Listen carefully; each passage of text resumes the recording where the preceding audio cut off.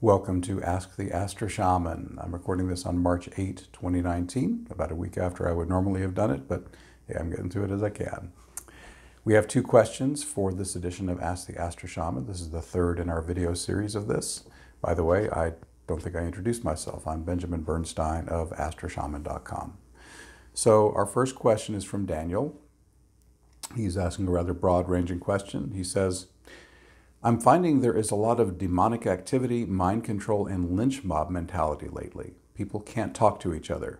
Simple differences of opinion become grounds for fighting before facts can be brought to the table. There is no table, it's been broken. Part of this is fake news, but there are spiritual, psychic, and energetic components to the control system behind the words and flying fists. I'm hoping you can address astrologically not just the political scene, but the interpersonal and social scene. What forces do you see in play here? I'd like to think that because dark powers are being exposed and challenged lately, they're going for broken desperation. I would appreciate your astrologically and psychically informed insights regarding the apparent overthrow of the deep state, the global banking oligarchs and ancient ruling families, and what new regime might be rising.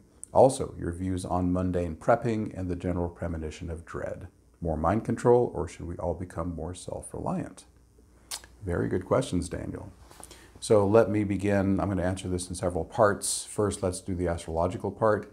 Um, part of what's going on with the deep state exposure and uh, and all the exposure of the underbelly of dark things that have been going on is the presence of Pluto in Capricorn. And uh, this this Pluto came into the sign of Capricorn way back in 2008. He'll be there through roughly 2023. And the nature of Pluto in Capricorn is it exposes the malfeasance of the powers that be. Capricorn represents the existing power structure, banks, governments, religions, etc. And Pluto is like the investigative reporter. Pluto gets in there and, and brings up from the depths what's been hidden. And anytime Pluto comes into a sign, this phenomenon occurs. So now we're working with the large powers that be. So that's one level of why all this is being exposed now. It's been going on a long time. I'm not agreeing, by the way, with everything Daniel says here. I'm just saying there's a general sense of the, the dark things being exposed more broadly. Um, another factor we have running here is the Uranus-Pluto square. Now again, this is just close to wrapping up now. It actually was exact uh, Uranus squared Pluto three times 2013, forgive me, 2012 through 2015 in terms of their orb, their period of influence. That started back in 2008 and it will last through next year, 2020. So Uranus square Pluto boils down to revolutionary transformation. Things get shook up, things become unstable, and it's a time of radical shift. Anytime Uranus and Pluto make a hard aspect, a conjunction, an opposition, or a square to each other, the times become very um, unsettled and revolutionary uh, most dramatically back in the 1960s. Uh, they were in orb 1960 to 1972, and uh, of course that was a very radical time, not just in the US, but the whole world. And now they've been doing a square, which is their next major interaction since then. So every few decades, Uranus and Pluto make a, one of these hard aspects to each other and things go into turmoil. So that's another reason why things are feeling so crazy now. Um, another factor that's just 2019 focused and, and this will be a just to this year, there's a triple conjunction of Saturn, Pluto, and the South Node, all of which represent old karma coming up to be dealt with. So this is a tremendous shadow work opportunity when people who are conscious and know how to work with shadow work and clear it from themselves can do huge amounts of evolutionary work. And in my own experience, the clearing of shadow work leads to deeper spiritual awakening. However, those who are not conscious enough and are stuck on the surface and pointing fingers outward are going to have a lot of turmoil, and um, there will be even more dust in the air and challenge and difficulty for those who are feeling these difficult forces getting triggered by them, but not having an effective way to clear them themselves. Let me just mention briefly, I do have a tool on my site that you can use to clear your own shadow stuff, your own old wounds and pain, um, and it's called the Healing Invocation, and if you want to check that out, uh, in the current version of the Astro Shaman site, you would go to the, the menu bar, the last words resources. First item down from there says Heal and Awaken Invocations, and that'll take you to a couple of posts, the second of which is about how to do this healing process.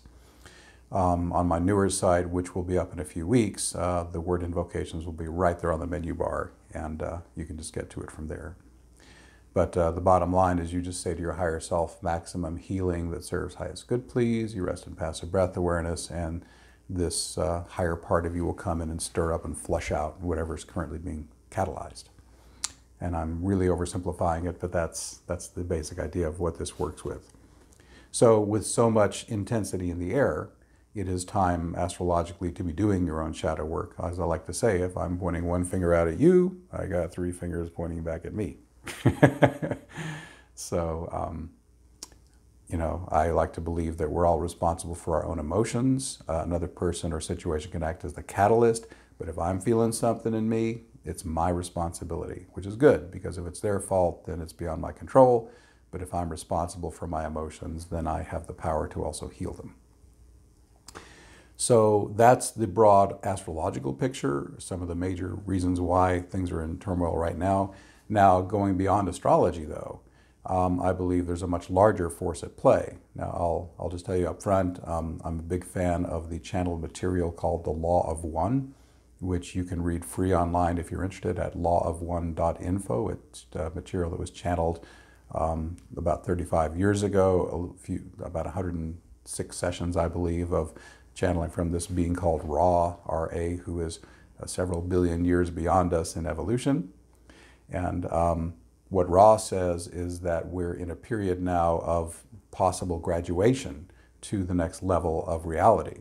The, the grand scheme that Ra paints is that there are seven major levels of consciousness. Humanity is on level three, and every so often, uh, every few tens of thousands of years, we hit a graduation point where it's possible for each individual to make a choice about you know, moving to that next level, which would be called fourth density, which is a much more peaceful place than this. So um, the path Ra gives is that says there's, there's two ways to graduate. One is to be at least 51% service to other, where you are genuinely a little more concerned about other people than yourself. Or you can graduate on the dark path, which is service to self, but you've got to be at least 95% self centered. And, and that means you've got to totally close down your heart and be totally unfeeling, no compassion, and be totally about power, domination, and control and apparently either path will get you graduated. And then those who graduated on the side of light, they go to a planet that's all beings of light. Those who graduate on the dark side go to a planet that's all, you know, it's like Klingons. They're all fighting each other for domination and control. And each each path you spend a few, you know, several billion years doing that as you go through your evolutionary process.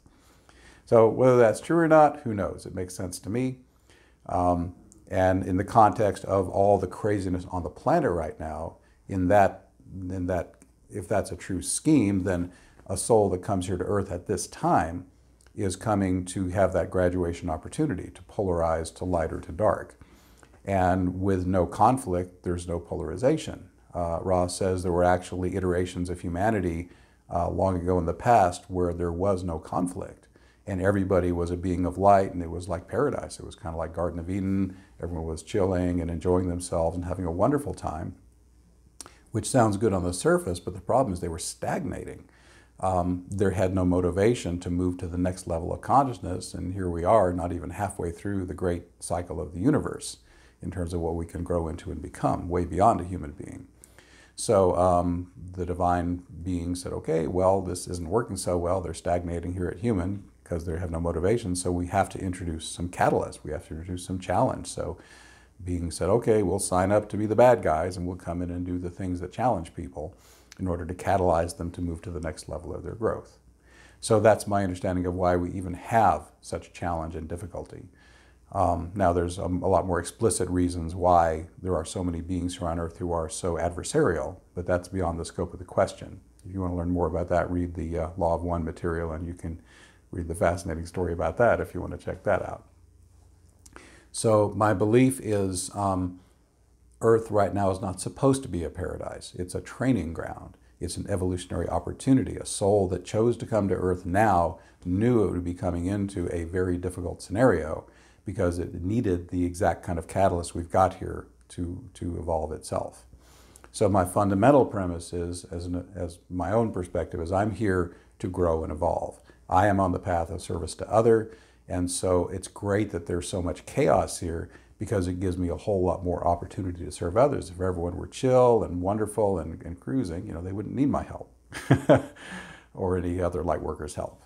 So in order to polarize service to other, I have to come into a planet where there is need for support. So uh, Earth has plenty of opportunities for that right now, and I, and in my own way, support those that I can. So my view is that in the great scheme, nothing's wrong at all. There is conflict, there is challenge, but part of the game is to awaken from the illusion that you know this human life and this Earth is the only game there is. Step a, a level or two back, see the larger evolutionary logic behind it all and then you see all the intensity and, and craziness and forces of evil and forces of light is, is exactly the game the divine is choosing to play here. And I view it as simply evolutionary opportunity. Now, let me talk about where one, now one thing I do know is that your reality is strongly colored by what you choose to believe. So um, I myself, you know, I didn't get into the whole deep state thing and investigate that, but a few years ago I became deeply concerned about the environmental crisis and read deeply on that and became really depressed. oh my God, it's, a, it's really looking grim and not a lot of hope of, you know, the earth coming back to a beautiful, uh, you know, state of ecological harmony anytime soon. And I had to finally back off from that. It was just too psychologically devastating to me to go too deep into that. Um, so my own view is I am going to create my own reality in as positive and harmonious a way as I can. And where I put my focus is what will determine my attitude and my reality. There is another spiritual rule of life, which is as within, so without. The energy, consciousness, and attitude I hold inside myself will be reflected in my external environment. And sure enough, in the many years of life where I was you know, more reactive and, and wasn't really very self-aware, I had a lot more conflict in my external environment. Now that I'm more awake and more consciously connected to my spiritual self, my inner reality is much more harmony, flow, ease, and grace more consistently, and sure enough, my outer reality reflects that. So what you put your attention on, you become. So if you dive deeply into the, the machinations of evildoers, then, then your focus on that will tend to attract that sort of thing to you more. So um, if you focus on love, light, harmony, if you do a lot of meditation and focus on you know, making your own consciousness really bright and shiny and clear, then that'll be more what you experience. So overall, I believe, for myself anyway, my choice of trying to be as awake, conscious, and bright spiritually as I can allows me to serve better because that means I get to radiate that energy out to the world. And every being who awakens or who holds a more positive, uplifting sort of consciousness, who's happy, joyful, euphoric, etc., is radiating that energy to the planet and making it easier for everyone else to pick it up. Um, now, am I saying that no one should be concerned about the machinations of evildoers? No. It depends on your karmic role. You know, is it mine to do? My own role is to do what I just described. There are others who are those who are, it's their evolutionary role to dig deep into the investigation, find out what's going on, expose the evildoers, uncover the deep state, all that. And if you feel compelled to that, and that brings you a sense of satisfaction and fulfillment, then that is your job. So um, there are billions of people here, and we each have a little bit of a unique role. There's no one thing I believe that everyone should be doing. Uh, you asked, you know, should we be prepping? Should we do whatever?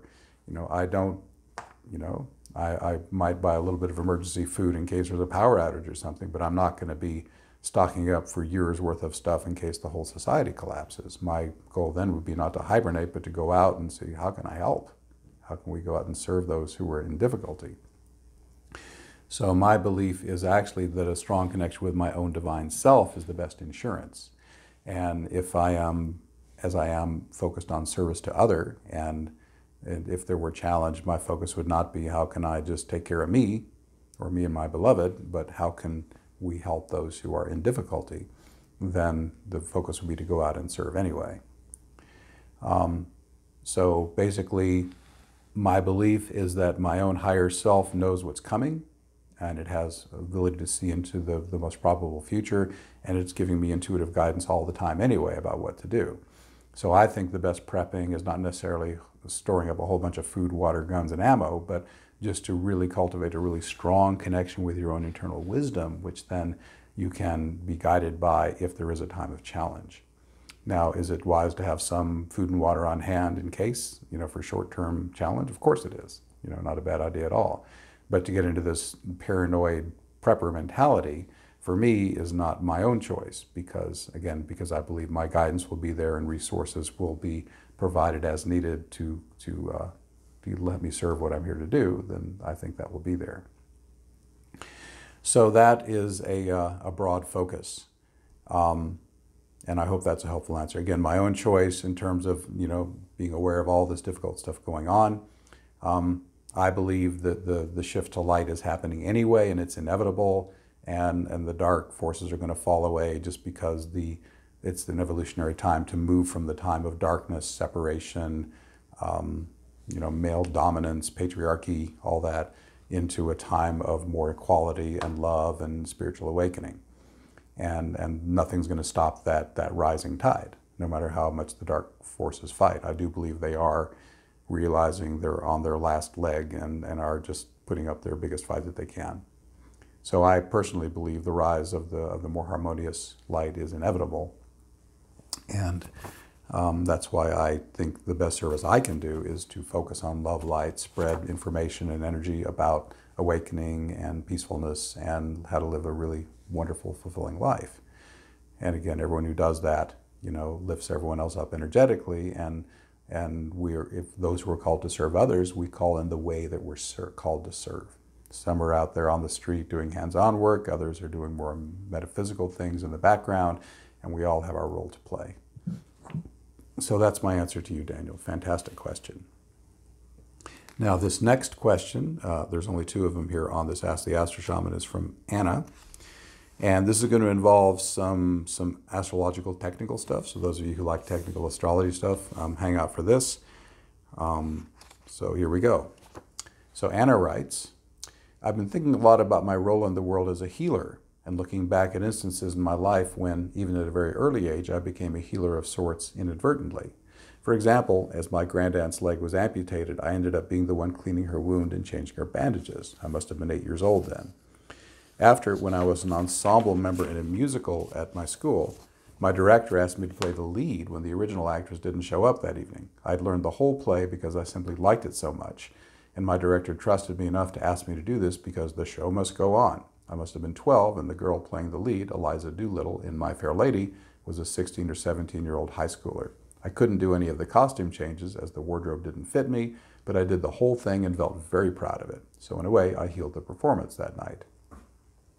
Later on at 17, when my parents and I emigrated to the U.S., escaping the violence of the war on drugs in Colombia, I was the one who wrote the account of our experiences in our application because I was the most proficient in English of us three, and my parents relied on my storytelling abilities to make our case. So, to amplify the meaning of healing, I could also include that example as moving to the U.S. literally healed my mother, who was suffering from alopecia from all the stress she was suffering. There are more memories such as those that show my strong inclination toward healing, including my latest permaculture project, which I've had to put on hold because of the resurfacing of paramilitary activity in the region. So, as I get ready to move to London in March on March 28th and hopefully start a new life there, my question is how could I find a way to focus my abilities and inclinations toward this when it seems the range is so broad? Thanks for any insight you can share. So, great question from Ana. And by the way, I am posting uh, a PDF of the three charts I'm looking at. There's a natal chart, a transit chart, and a, a secondary progress chart. And uh, there is a link to that from this post here on astroshaman.com. And, and this post is on YouTube as well, and I will put the link there too. So either way, you'll be able to link over and view these charts if you want to. So if you want to have the charts ready, do that now and then continue the video. So um, Ana is born October 31, 1981, 4.16 p.m. in Cali, Colombia. That's C-A-L-I, Colombia.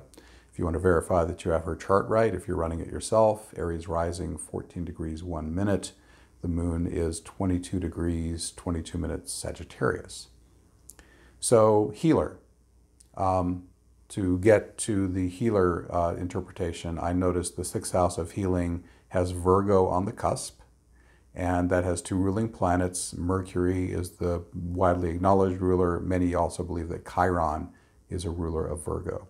So the way Mercury and Chiron are set up in Ana's chart is going to have a lot to say about her abilities as a healer. As it turns out, Mercury, uh, again, the more widely acknowledged ruler of the House of Healing, is in the middle of a huge stellium in the sign of Libra. Uh, it has uh, five planets and points surrounding it. So Mercury's here at 20 degrees Libra. Uh, prior to it, I've got Saturn at 16 Libra. Saturn's important because he's uh, Ana's midheaven ruler. And as always, when I do this stuff, I tend to uh, sometimes address the person asking the question, Ana. Sometimes I'll address you, the viewer. So pardon me as I go back and forth spontaneously between those. So that right away lets us know, okay, here's the planet that in the chart rules healing, sixth house ruler, conjunct the planet of career, Saturn. So right away that says healer as profession is supported. Uh, Mercury is also conjunct the descendant, the house of others, that, that supports one-on-one healing. And the fact that Mercury is angular, close to one of those four power points in the chart, um, also lets us know it's an important point. Uh, Mercury also more loosely conjunct Ceres, uh, actually back in the sixth house now. And um, Ceres is both about uh, sorrow and wounding, which is part of what a healer can work with. And Ceres is also abundance and harvest. So, so working with other people's challenges in order to gain abundance is, is supported there. On the other side of Mercury, a little bit later in Libra, are a very tight Jupiter-Pluto conjunction. And Jupiter and Pluto together is wealth. uh, mega rich people like Bill Gates and Warren Buffett have strong Jupiter-Pluto aspects. So this also says if you take the path of the healer, there could be great wealth for you, and wealth could be money, but wealth can be anything of value to you, Ana. So whatever you value most, if you walk the path of the healer, that can be given to you. Um, so that's uh, tremendous support right there for you as a healer. Um, I wanted to point out Mercury has several other aspects in your chart, and I wanted to mention just a few of them. Mercury um, is actually part of an aspect pattern called a yod, or finger of God. Um, the planet Chiron is at the tip of the yod, down in house number two. The back end has Mercury on one end, and then the Neptune and Moon on the other end. And I have sketched this out on the first page of that PDF I mentioned. So as I mentioned a moment ago, Chiron is the other ruler of healing. So here we have Mercury, the, the widely acknowledged ruler of healing, pointing toward Chiron, the one planet that I use that is most explicitly about healing. And then on the back end, we have Moon Neptune, tightly conjunct. Neptune says divine energy and guidance will come to you when you do this. The moon says follow your heart, what resonates for you emotionally, and move it in that direction, which gives us our first clue, Ana, to your question, which I'll just tell you right now what should I do? What are you being guided to do? Um, you know, Mercury has a huge number of aspects. Um, Chiron also aspects quite a few different points in planets. And the chart doesn't say there's just one particular healing specialty. With this many aspects, your healing may go in many interesting directions. It might be direct healing, it might be indirect healing. So the chart doesn't say that there's any one specific way it should happen. Therefore, since you can't work it out logically, the only way to be guided is intuitively. Um, in my own life, I've got to the point where I can hardly even make a rational decision anymore. That's been taken offline because now the intuition is giving me those guidances directly from source. So in your case, Ana, don't try to figure it out. I mean, if you want to put it through your mental hopper and logic out what's the best healing route I can take now, go ahead.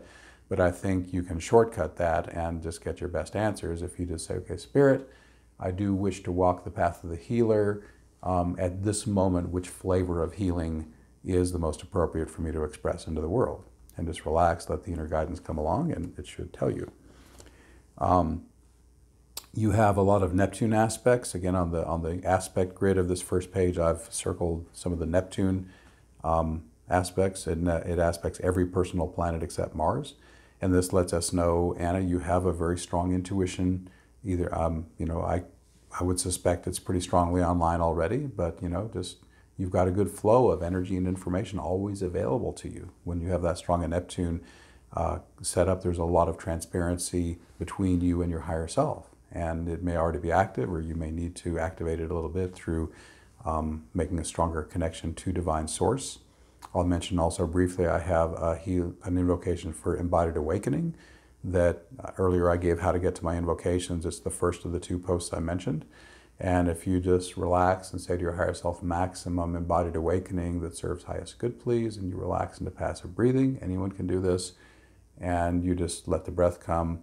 Uh, sometimes within a very short time, you have this shift of consciousness, and all of a sudden you are the ego joined with the higher self, and instead of having to call your intuition external, you've become intuition. That which is operating your very body is your source of intuition, your higher self.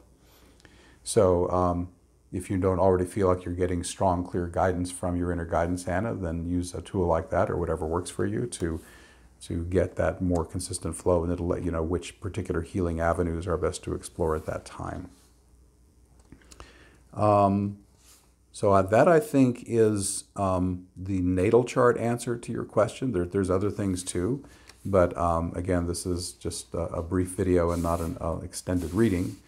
I do, however, want to give you a few timing things, and I know you're moving to uh, you're moving there at the end of March, and there are a few things that are relevant to the question in terms of timing. Um, right now, the transiting planet Pluto is square your natal Mercury, again, that planet that rules your healing. It's going to be in orb of the square through 2020. So that's a tremendous empowerment of you as the healer. Um, so the timing is really good to move into that. Um, also, the transiting planet Saturn is also square your Mercury off and on all year. He's actually making three exact squares through the course of 2019. So um, that will not only test you as a healer and, and let you know of any areas where you need to kind of get more on track and learn or gain prowess in your healing ability, but to the degree that you are already up to speed, Saturn will give you opportunities. Remember, Saturn is your midheaven ruler. He rules your career and to have the mid-heaven ruler make three exact contacts, very powerful to your healing planet, implies that it is actually a really good time to bring the healing online as a profession if you want to. Now again, astrology is not concretely predictive, it's archetypally predictive, but since you asked about healing and you've already said you want to do that, um, the timing is incredible with both Pluto and Saturn very powerfully lighting up the planet of healing in your chart. Um, I'll mention the planet Neptune is just now beginning a quincunx to Mercury, which will last for four years. And here's that planet that I mentioned. It's divine flow, it's divine inspiration, it's divine healing energy coming through you. So a quincunx doesn't connect automatically, but if you make the right adjustment, that Neptunian energy can flow through to your healing ability. So calling on your divine consciousness to support your healing through guiding you what to do and flowing the energy through you to do it is super powerful and if that wasn't enough, the other major transit that relates to this is in mid 2020, a little over a year from now as I record this, transiting Chiron is going to start squaring your midheaven. Wow, that's a lot of synchronicity. Chiron, the planet of healing and mentoring, uh, beginning to square the midheaven, the point of career. So you've already got plenty of juice rolling to get it rolling, but this says by mid 2020 through probably early 2022, with the speed Chiron's moving now, um, that healing energy toward career is profoundly supported by moving energy. I'll mention in closing two progressed energies that are relevant as well. Um, one is a very long term play. Your progressed Saturn is very close to a conjunction to Mercury. Now, again, in the natal chart, they're only about four degrees apart. And here you are born in 81, it's taken your whole lifetime for progressed Saturn to move about four degrees that means that uh, progressed Saturn is going to be on Mercury for many, many years, a couple decades at least. So I don't normally use a planet as slow as Saturn in progressed motion, but because of the relevance, here's the progressed planet of career, um, getting very close to a conjunction to the planet of healing. Uh, this actually says to me you could do healing as a profession for a very long time, decades literally, as progressed Saturn um, hangs out around Mercury. Um, you could have done it even without that, but here's yet another thumbs up from the universe pr promoting that. And, and then the final thing I want to point out is a doubling effect. The progressed midheaven, um, the moving point of, of career, is now he's not quite there yet, but in about eight or nine months, he will come within orb of a square to Chiron. So not only do we have um, next year transit Chiron going to be squaring the midheaven, the planet of healing to the career point, the progressing career point a little, just a few months after that, is going to start connecting to natal Chiron. And when you get a double like that, the planets doing each other, that's a huge, powerful synchronicity that it's good to pay attention to. So, because of the moving energies, Ana, I'd say there's a tremendous opportunity for you to move more powerfully into that healing world if you want to. Now, this all supports that. Does it require you to be a healer? Not at all. But uh, it definitely supports it. And if you're so inspired, then there's no question that the skies are in alignment for you to do that. So that's my answer to your question, Ana, and I hope that's helpful. Um, so this wraps up this third edition of Ask the Astro Shaman. If you would like me to answer your question too, all you have to do is email me, info at astroshaman.com. And uh, I post these to YouTube. I put them on my website at astroshaman.com. I announce the uh, Ask the Astro Shaman videos in my newsletter that you can sign up for on astroshaman.com too. So, so glad to be able to share this with you. I love doing these and I hope you enjoy watching them. Thanks for being here. Bye bye.